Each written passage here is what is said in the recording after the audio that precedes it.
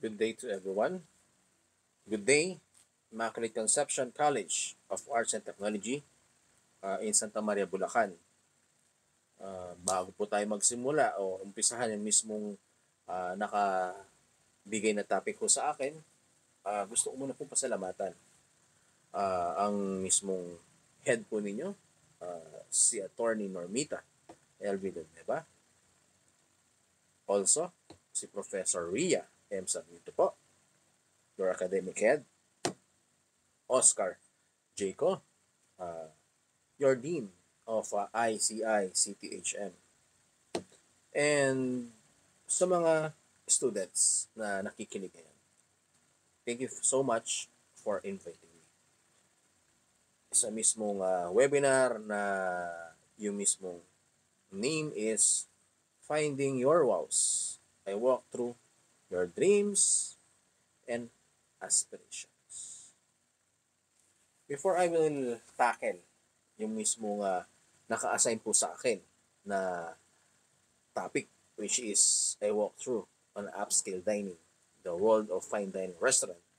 Uh, let me, no, itour kayo sa mismong sino ba si Lester A. Ramirez. I-share ko lang po yung screen ko sa inyo. So, so Sir Lester po, or me, ay graduate po ng uh, BS HRM sa Regina Carmeli noon. Eh ngayon po eh ang name ng mismong school ngayon is uh, La Consolacion College. Siguro nagtataka ho kayo na I'm from Pampanga and then nakapag-aral po ako sa mismong uh, La Consolacion College or URC noon because uh, kami po ay ang pinaka-boundary po namin is Kanumpit. That's why, yun po, ano, I had the opportunity na makapag-aral sa mismong URC noon. Eh, ngayon po, eh, La Consolacion College na. Yan po sa mismong nakikita nyo, sa mismong uh, pictures. Yan po ang naging career path ko or my journey bago po ako ngayon na dito harap mo ninyo na naging speaker ho ninyo na naging trainer and assessor po ni Tesla. Ito po ang naging experience natin. Bago po ako nakapag-barko, uh, ako po ay naging uh, management trainee hanggang sa na-promote po tayong dining manager sa mismo Jollibee. After po noon, uh, plano ko po talaga is I want to go abroad talaga. Eh, alam na po na natin na talaga naman if uh, sinasabi na abroad, eh talaga namang uh, malaki ang kitaan. Pero ang gusto ko talaga is I want to travel around the world or around the world for free.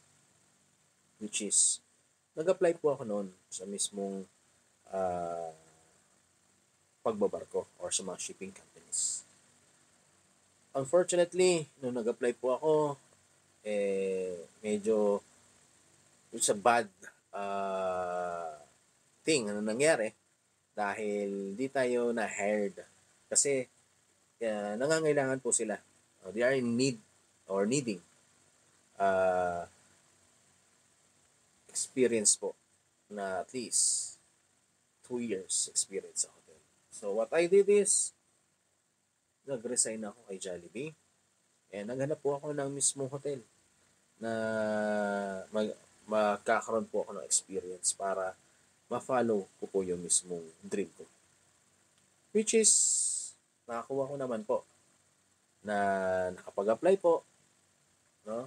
Uh, naging o oh, nagkaroon po ako ng experience sa mismong hotel and then ayun nga po ano uh, the rest is dire-diretso na so nung nakakuha po ako ng experience sa mismong hotel ang ginawa ko po ito ang ginawa ko po eh dali-dali nag-apply na po ako sa mga shipping company which is nakapasok naman po tayo. Pero to tell you po, ano, uh, a lot of struggles that uh, I encountered bago po tayo uh, makapagtrabaho sa, sa mismong barko. Unang-unang struggle ko nung sa mismong interview na tinanong sa akin, this is a foreigner na bossing ko. Okay? Tinanong sa akin, oh, Mr. Ramirez, you don't have yet the experience na hinihingi natin. Uh, sa tingin mo, uh, ma-hire kita o i-hire kita? Sabihin mo sa akin na dapat i-hire kita. Sinabi ko naman po, no, sa mismong bossing kong yon, Sir, hindi pa po ba enough yung uh, work o pag-work ko kay Jollibee? And also, at least a one-year experience in hotel. And sir, sinabi ko to, ha? Ito sinabi ko, mark this one uh, kung hindi nyo ako i-hire, paano naman po ako makaka-experience? You know what happened? Yung mismong pananalita kong yun, eh naging positive pa pala.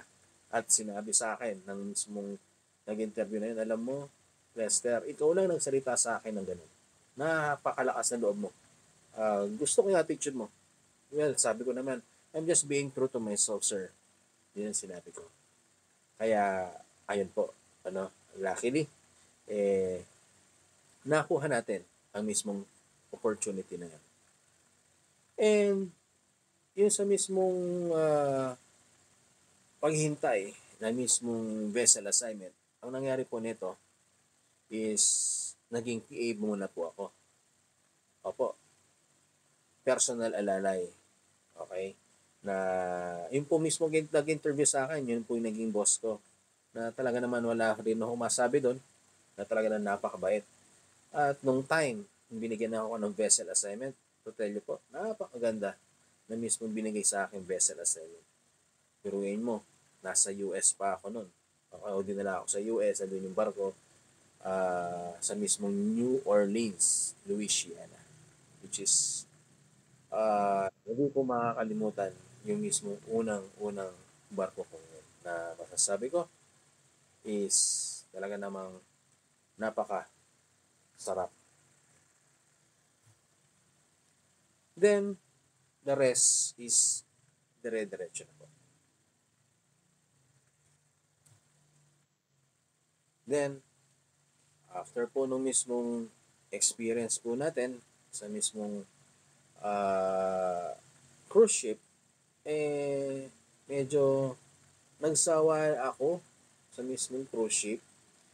Uh, kasi po doon, sa mismong cruise ship, uh, mismong naging position po natin dyan is I was a uh, restaurant utility hanggang sa na-promote po tayong naging assistant waiter hanggang sa naging waiter. Na swak na swak no, yung mismong binigay sa akin topic na tungkol kay fine dining na marami ho ako ma relay okay o masasabi sa mismong topic ko And then, yun nga ho, no? Uh, nagsawa tayo sa mismong cruise ship for seven years. Then, sabi ko, try ko nga muna magkargo. Well, doon po tayo nagkargo. Okay? So, ito po yung cargo natin. Sinuwerte po tayo. Doon sa mismong pagkakargo ko po. Ayan po. No? Eh, unang uh, position po natin dyan na, na trabaho is messman. Na-promote po tayong assistant ko. And pinopromote tayong chief ko kaya lang eh, hindi na tayo sumampa that time. And to tell you po, ano, uh, binigyan pa ako ng libre na pag-aaral sa isang culinary school which is saan din po ako ngayon nagpa-part-time sa mismong ISCAM. Uh, ah, hawak ko po doon yung mismong food and beverage nila uh, D uh, Pampanga Quezon City at saka po Cebu. So, iyan po ang mismong journey natin sa mismong pagkakargo uh, I worked there for di ko two years, yeah. Two years. Kasi entire experience ko is I think nine years, hindi ako nagkakamali. Yeah, nine years. Okay. So, doon, no? Uh, nag-isip-isip na ako.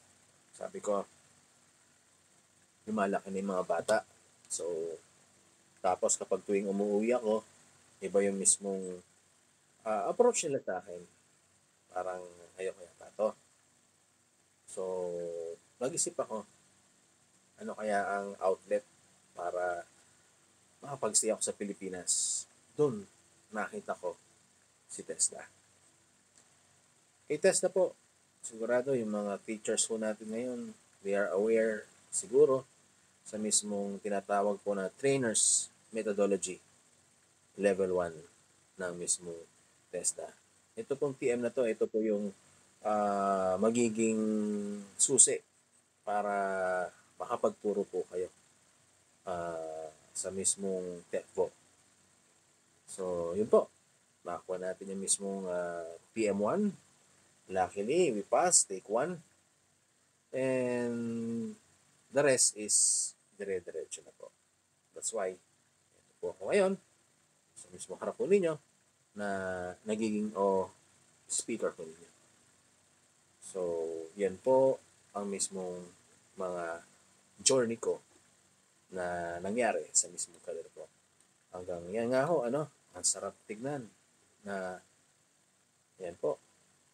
Nakikita mo yung mga estudyante mo na napatuto mo, uh, nakuha nila yung mismong skills na binigay mo sa kanila. At to tell you po, ano, they are uh, excelling ano hindi lang ho dito sa atin but also sa abroad na wala akong walang katumbas na saya na makikita mo yung mismong mga estudyante mo. Also, ako po ay licensed coach din po uh, samahan ng basketballista ng Pilipinas. So, yan po ang mismong journey ng karir ko. Now, discuss na ho natin yung mismong uh, naka-assign na topic sa atin. Allow me to present my PowerPoint presentation. Beginning, I walk through an upscale dining, the world of fine dining restaurant. Of course, by me, Pastor A. Ramirez. Kapag pinag-uusapan ang mismong fine dining, nadami ang pumapasok sa isip natin. Kapag fine dining, sinabi natin ito yung mga sosyalan. Which is true. Yun yung mismong sosyalan na pagkain na nakikita ho ninyo sa mismong screen niyo. Fine dining refers to a restaurant experience that is of a higher quality and greater formality. So swak not swak po no sa mismong uh, sinabi ko kanina na when you talk about fine dining, ito yung talaga namang sosyalin na pag, uh, pagkain na yung mismong uh, mga chef dito eh hindi pipitsugin na talaga naman uh, they will no uh, showcase uh, their expertise in culinary. And of course, not only the chef ang uh, mismong mga malulupit dito or world class talaga. Also, the server. Na dyan, makikita nyo din na talaga namang pulidong pulido, suwabe-suwabe, ang mismong pag sa servisyo. Pero meron tayong tinatawag na five types of fine dining. Different types of uh, dining appeal to different customers. The types differ in menu, prices, decor, type of food served, and uh, weight served. So ano pong ibig sabihin nito? Kasi when you talk about dining, sa fine dining. Ah, iba ho yun eh. When you, you talk about dining, meron tayong tinatawag na casual na dining. Yung saktuhan lang. Pero pag sinabi nating fine dining, eh talaga naman, yung sinabi ko sa inyo, talaga namang napakamahal, napaka-elegante na mismong pagsiservisyo dyan.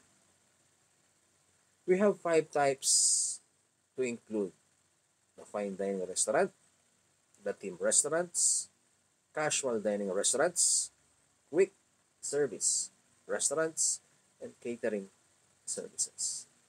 So, yan po yung mismo sinasabi natin na five types of fine dining.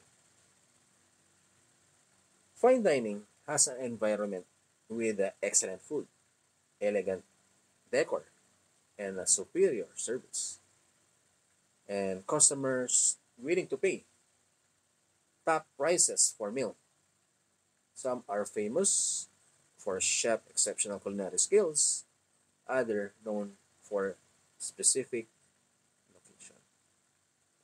So, sa mismong binasa ho natin na yan, ayan na, yung sinabi ko sa inyo kanina, na ang mga chef talaga dyan, eh talaga namang magagaling at talagang masya-showcase nyo o masya-showcase o showcase o sina-showcase nila sa mismong kinakain nyo or sa mismong plate yung mismong kagalingan ng mga chef dyan.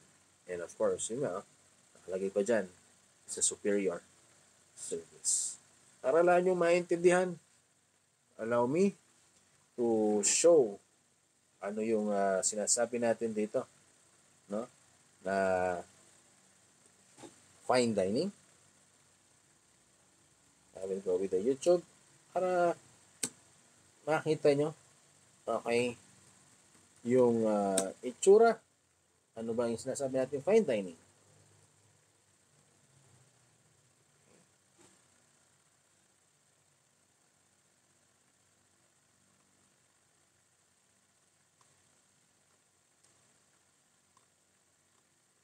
So check this one. Ah, ito, ito, ito. Uh, it's a vlog. Okay.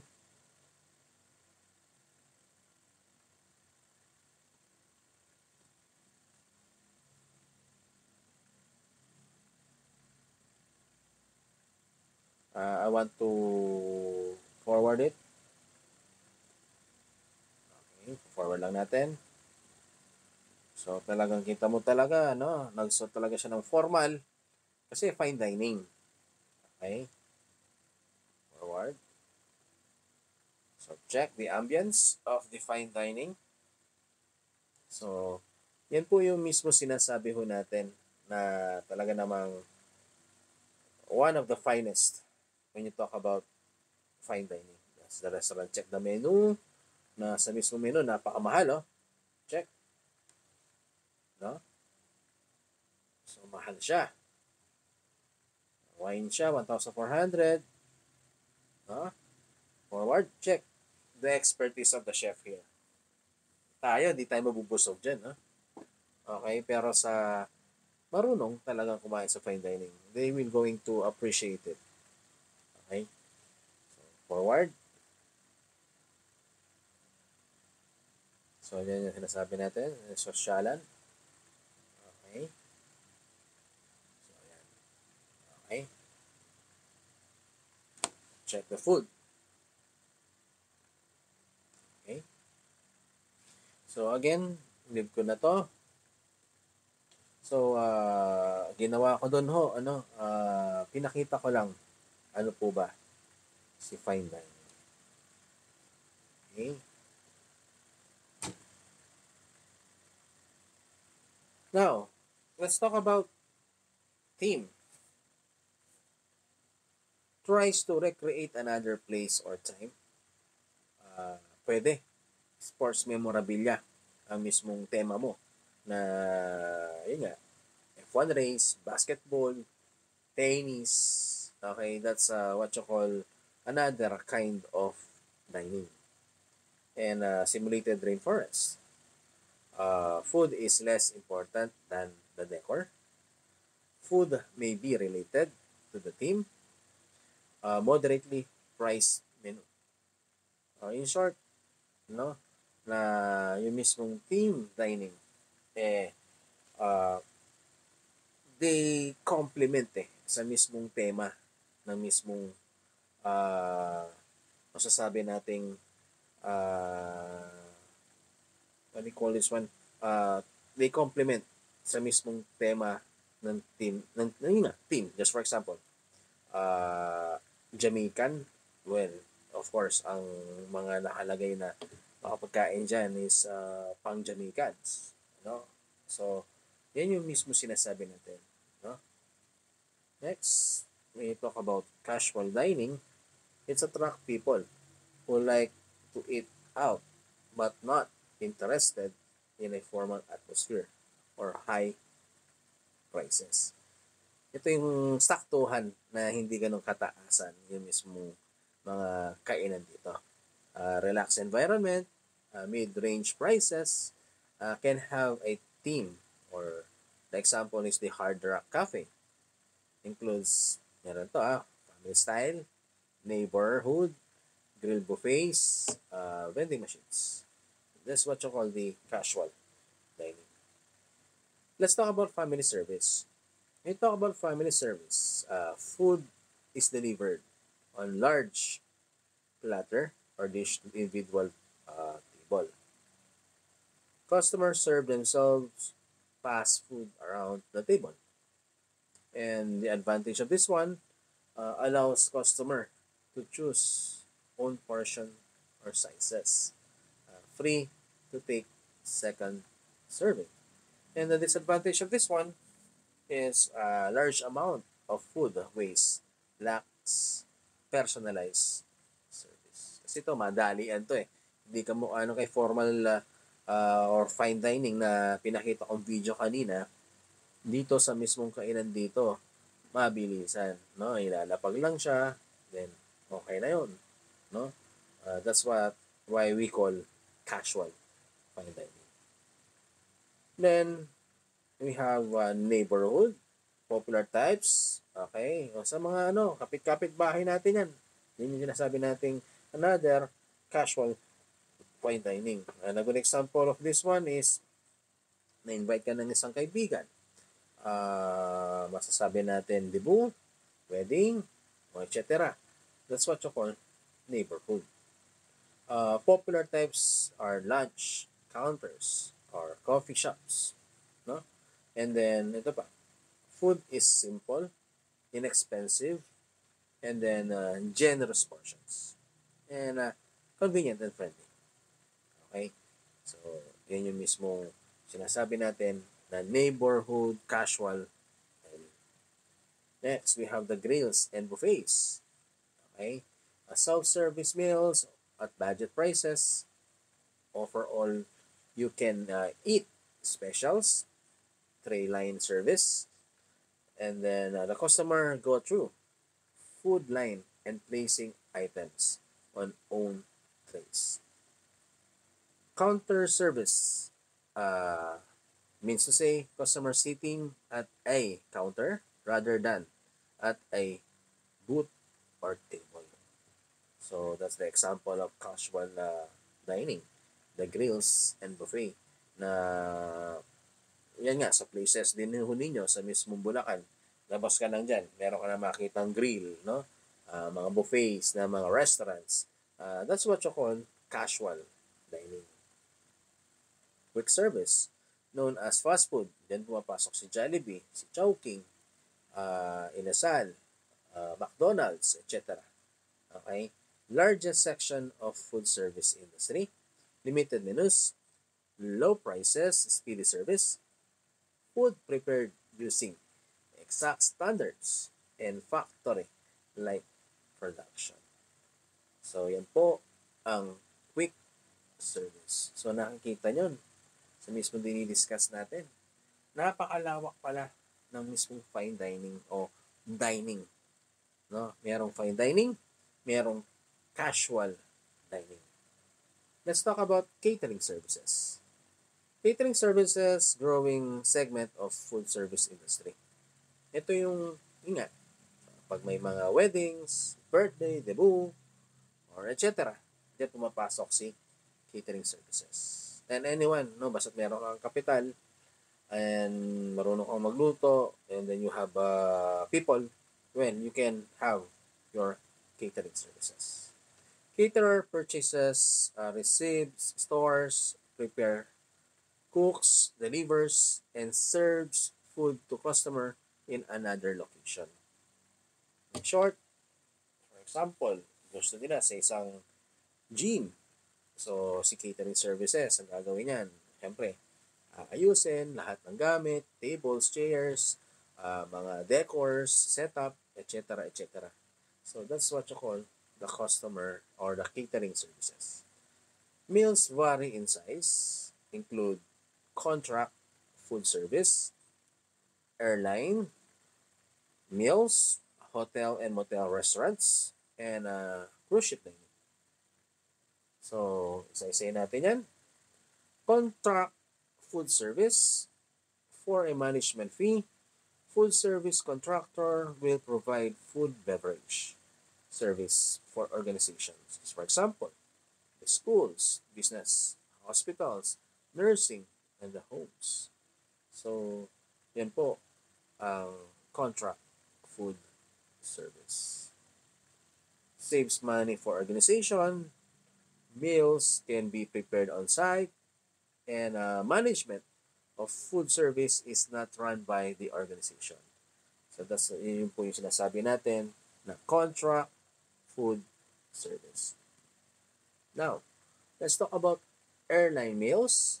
It is limited by store needs and uh, transportation uh, may offer one or more full meals or just snack and beverage uh, prepared in a commissary where food is purchased and prepared, uh, then delivered to airplanes. Special meals, that's the vegetarian, low fat requests can be ordered in. Or in short, when talk about airline, ito na sa best mong aeroplano. Uh, di ba kapag, uh, yun nga, uh, already experienced this, no? Uh, meron din uh, tinatawag na kainan o what you call dining sa mismong airplane. Siyempre, you are traveling sa mismo ano, napakatagal na travel yan. Just for example, going to Manila to US, matagal na travel yan. Or in short, baka yung mismo flight mo pa is connecting flight. No? So, meron silang mga meal dyan sa mismong airplane. Okay? Next, hotel, motels, restaurant. Yan. No? uh, offer long service hours. Most serve three meals uh, per day, seven days per week. Uh, labor costs are high, especially with room service. So, sa mismong pinagtrabuhan ko, no, sa mismong hotel, sa mismong Holiday Inn, meron kaming mga res, uh, what they call one, uh, restaurants doon. Meron kaming team restaurants, no. Uh, I still remember sa mismong taas, no we have the Brazilian restaurant noon. And then sa baba, that's the, what you call the Rodizio, no? Na it's a Filipino style, no? Of restaurants of free. So, yan yung sinasabi natin. Also, yung mismo mga hotels, meron din silang mga restaurants or they are offering dining. And uh, of course, masasabi ko dito, mahal, syempre, hotel eh. No? di kumpara sa mismo sinabi ko kanina na mga fast foods yan. Ano, mga mura lang yung mga yan. Okay? So, yan ang mismong different kinds of fine dining and restaurants na makikita nyo. Na nakita nyo, meron pala no, sa mismong airline, boot kay airline, sa hotel. Okay? And meron tayong tinatawag na catering service. Okay? So, types of meal service. Ito. Okay. Which is kami, no, kay TESDA, when you will go on the food and beverage services, no, uh, if you will undergo the assessment, o baka meron sa inyo na nakapag-assessment na ng food and beverage, uh, meron talagang part doon sa mismong assessment na magpapaset up si assessor Uh, what's the purpose of that one? Kasi based on my experience, no, when I was working in cruise ship, kasi doon, no, ang ginagawa naming service doon, meron kaming American service, meron kaming French service, tsaka Russian service. Uh, sa mismong topic natin nito, i-discuss kayo ngayon. Okay. Types of meal service uh, include modern American plated, boot, family style, banquet, classical French, Russian, English, and butler, and uh, we have a buffet service. Let's talk about modern American plated. This one is begun in US, now used worldwide. Requires few, less extensive trained service staff. Give chef complete control over the preparation or portioning of the presentation of food. Food is completely prepared in the kitchen and the guidelines of this one is uh, you need to serve the beverage, soup for from customers to right, move clockwise to the next, then serve solid foods from left, uh, move counterclockwise, uh, clear dishes from right, and uh, completely serve clear one guest before moving to the next. Or in short, ito mismong modern American plated na to, ito yung sa lahat ng mga serbisyo na, na, na gawa ko when I was a waiter. No? Ilalapag mo lang yung mismong plate. No? It's by course na of course mag-start sa appetizer, soup, salad, main course, and dessert. Basta lapag mo lang yan. Basta alam mo lang yung proper positioning kapag uh, you are uh, introducing the food and then basing, mayroong proper position yan eh. No? Again, it depends no sa mismong uh, uh, saan kayo no o ano yung mismong standard ng mismong establishment. Let's talk about boot. Boot is a customer served from single focal point. The guidelines. Customers on right serve from left and left hand. Customers on left serve from right with right hand serves back of boot first, then clear soil the table uh, ware first from customer, and then seated closest to the back. And beverage service, keep tray in the left hand, and then serve with the right hand. Keep hands as close to table level as possible, and then place items on table to avoid handing items to the customer. That's uh, the boot. And we have the service or the family service. Uh, food delivered on larger or large plate, uh, platter or dish to individual table. And then, malaki. Kaya, tinawag, tinawag ito family. Kasi nandun na lahat. Okay? And then, customers serve themselves, pass for around the table or minsan yung mismong table, meron tayong tinatawag na lazy Susan. No? Lalagay lahat doon, then umiikot na lang. Okay? So, advantage of this one is allows customers to choose own portion sizes, free to take second serving. Yung mga matatakaw, yan, it's good for that. that this, this service is good. And then disadvantage, large amount of food waste, no? lacks personalized service. Kasi wala magsaservisyo dyan, nakalapag na lahat dyan eh bahala na si guest yung mismo kukuha sa mismo pagkain niya. Okay? So that's family service. And then we have the banquet service, uh, types of seating arrangement in which customers are seated, facing server with back uh, against the wall, against wall. Guidelines, uh, treat both ends of the focal uh, points, serve one side at a time. If more than four people, serve each end of the table as you would a boat. Whole beverage tray in left hand, serve with right hand, and then stand with right hip close to table. So, that's the banquet. Okay? Na ako, yan. Yan yung mismong naging trabaho ko. Yung still remember, nung kinikwento ko yung mismong journey ko, na nag-resign ako kay Jollibee as a manager uh, yan yung mismo naging trabaho. Naging banquet waiter ako.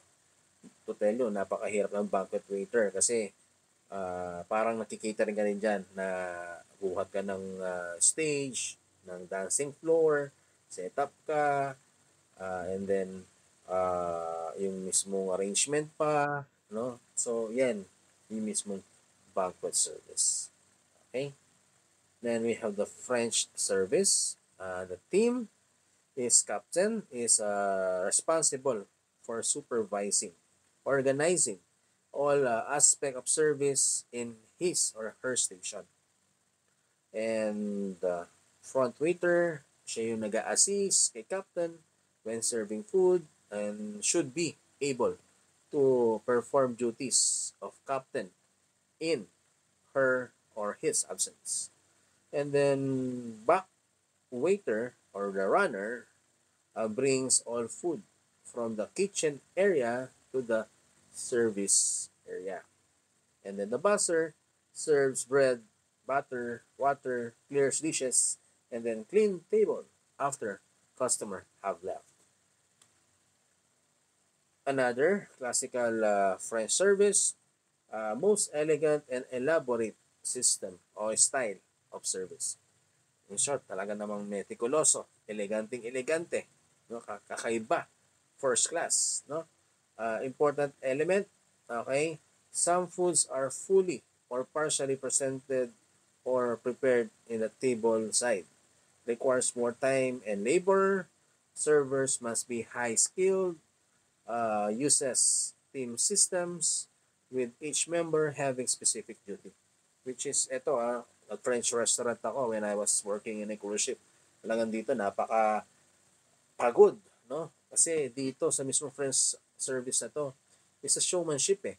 Na meron kang giridon cart doon or a cart na sa mismong cart na yon na partially cook na yung mismong pagkain na you being as a waiter ikaw mismo yung mismo magluluto.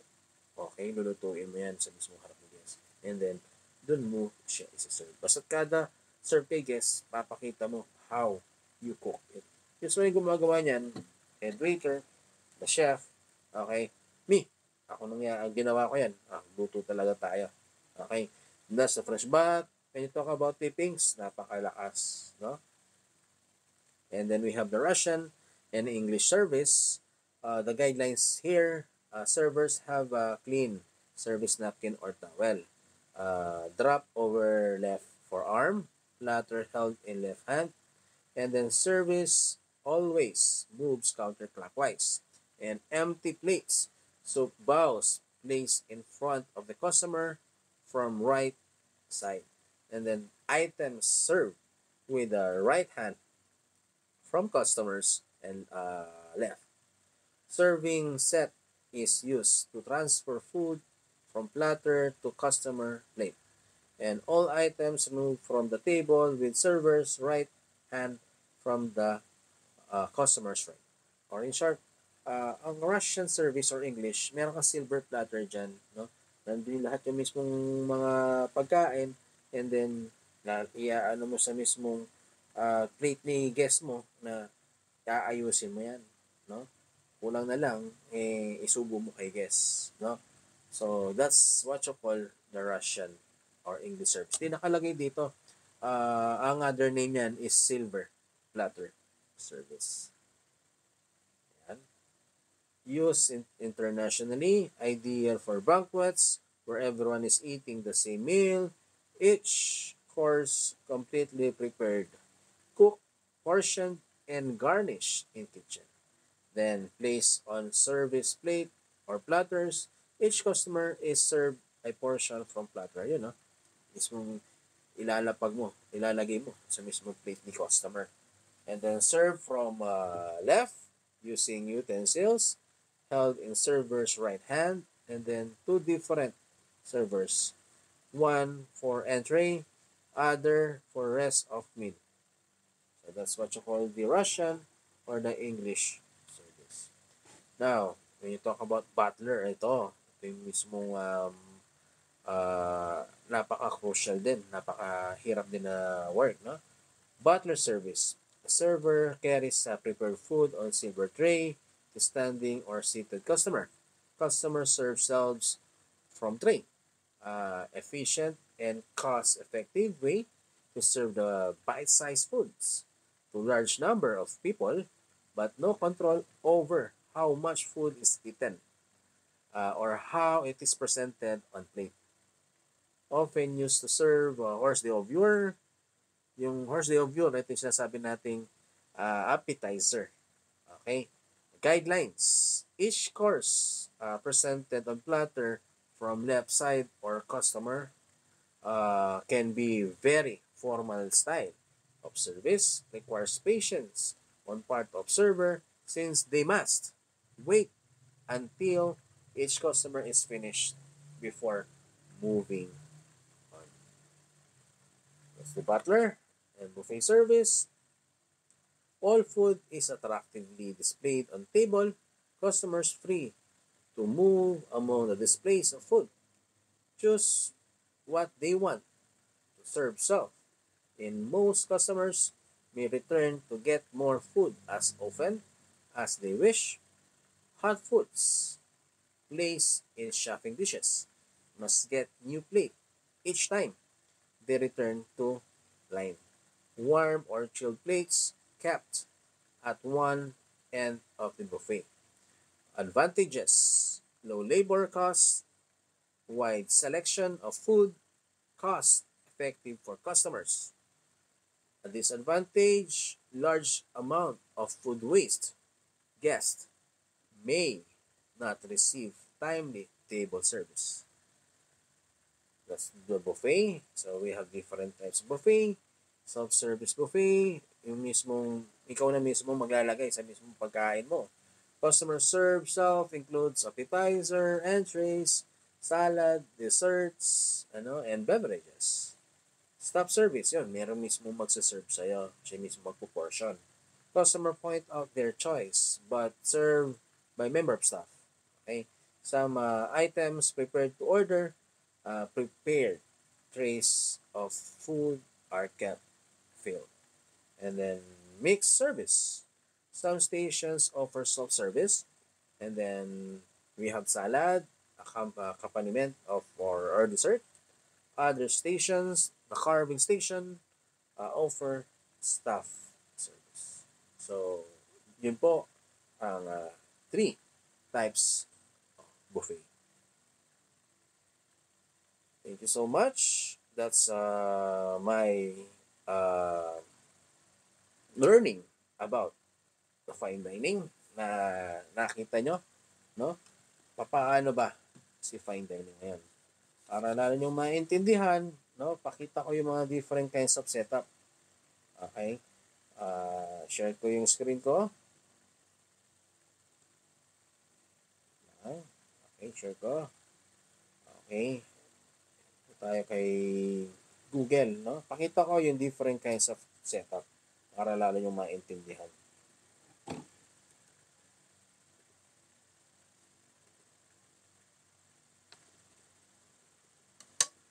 So, American setup.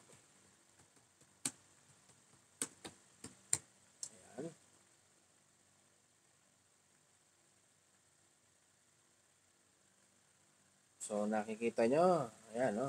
Yan ang mismo tinatawag nating formal American setup. To tell you, iba't iba, no?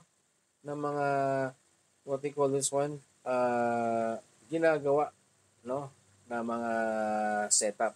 Okay? Just for example, this one, no? Yan.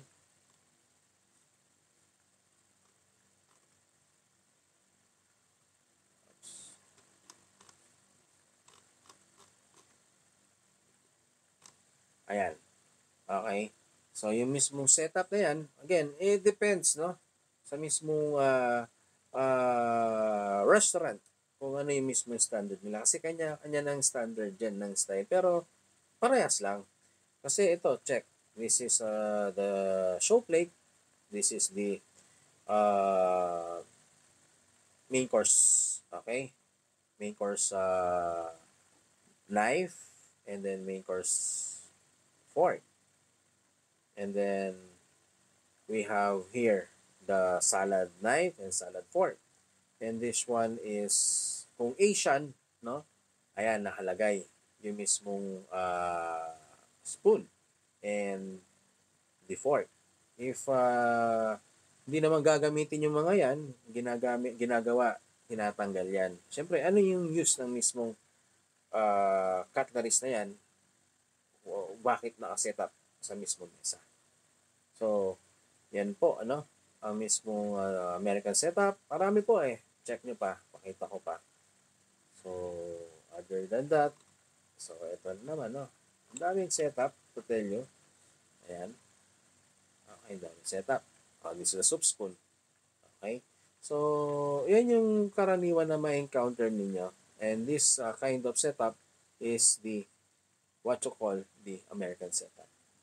Then, we have the Russian. Yan naman ang mismo ma eh, encounter ninyo sa assessment kung magpapa-assessment kayo sa mismong food and beverage. Russian setup.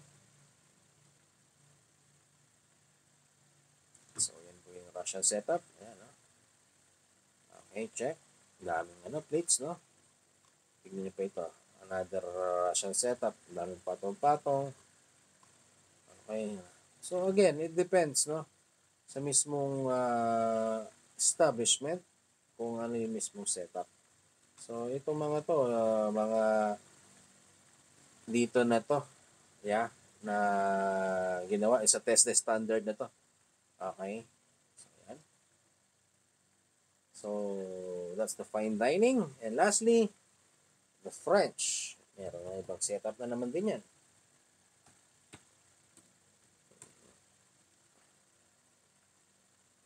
So, that's the French. Setup. Yan. Okay. So, yan ang mismong mundo ng fine dining. No? Na may iba't iba ng uh, service na ibibigay sa inyo. At uh, maraming klase ng fine dining. Okay? So, yan. Stop ko na yung sharing.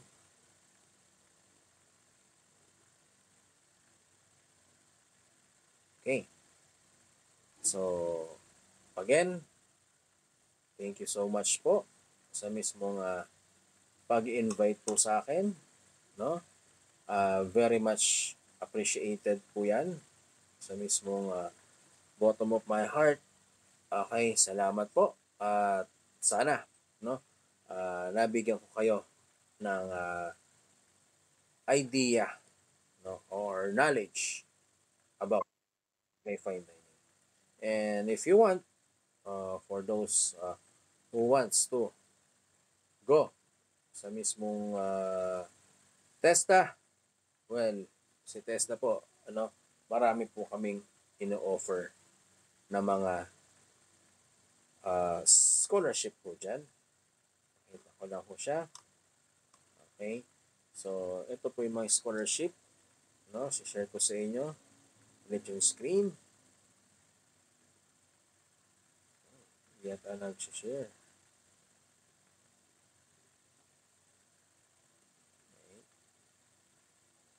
Share ko ulit.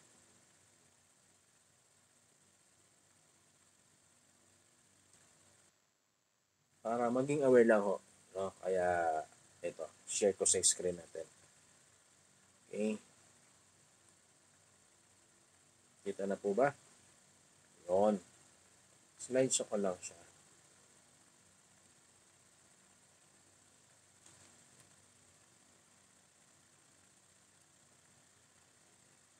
Yan po. Uh, sa TESDA po, marami po kaming scholarship na ino-offer. Uh, we have the WACTEA or what we call the Universal uh, Access to Tertiary Education. And then we have the Private Education uh, Student uh, Financial Assistance or what we call the PESPA. Another scholarship po yan, pangalawang scholarship. And then third scholarship, Special Training for Employment Program. And yan, TWSP, the Training for Work Scholarship Program. So, with this scholarship, uh, si TESDA po, no, uh, binibigyan kayo ng 160 allowance, no? Not even a centavo uh, gagastos kayo dito. Wala kayong gagasin dito. And bibigyan pa kami ng mismong ah, toolkit, no? And then meron pang internet allowance and meron pang insurance. At marami pang benefits. So, yan po yung kay Tesla. Okay? So, yan po. Again, uh, pinahapyaw ko lang para makita niya po ano po yung, mismong ino-offer namin kay Tesla. Thank you so much po. And have a great day.